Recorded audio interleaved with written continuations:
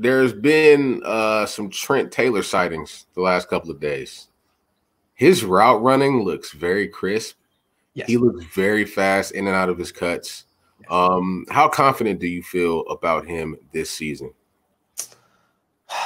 I think I think he's going to make the team. I mean, he got hurt last year because someone jumped and fell on his foot.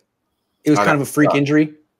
Oh, you know? Oh, I didn't know that. Yeah, he he caught a touchdown in the end zone, and the DB jumped to try to break it up and landed hard on his foot with with spikes. It's going to happen. So I I think he could be fine. He's he's way removed from all that. Uh, the reason he didn't come back midseason is because the screw, the metal in the screw, he was like it was all kind of like freak stuff that was happening. Yeah. So I think he looks healthy. I know Jimmy Garoppolo loves him. As long as right. he stays healthy, he's making the team. Yeah. Yeah. yeah. Um, he's important to the team, especially when they don't have Deebo and Emmanuel Sanders. Yeah. but where where where do you think his uh what do you think his over and under on touchdowns should be? Hmm. Oh, touchdowns. That's a good question.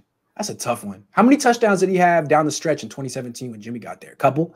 I think he had five games. A couple. He had one against Jacksonville. He might have had one against Tennessee. I, I don't know. The most he, I think he had like three or four. Three or four? Yeah. In five games?